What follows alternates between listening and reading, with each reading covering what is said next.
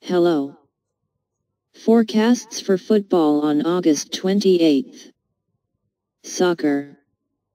UEFA Champions League qualifying.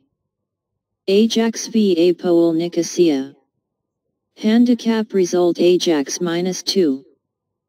If you want to make money on bets, visit our website, link in the description.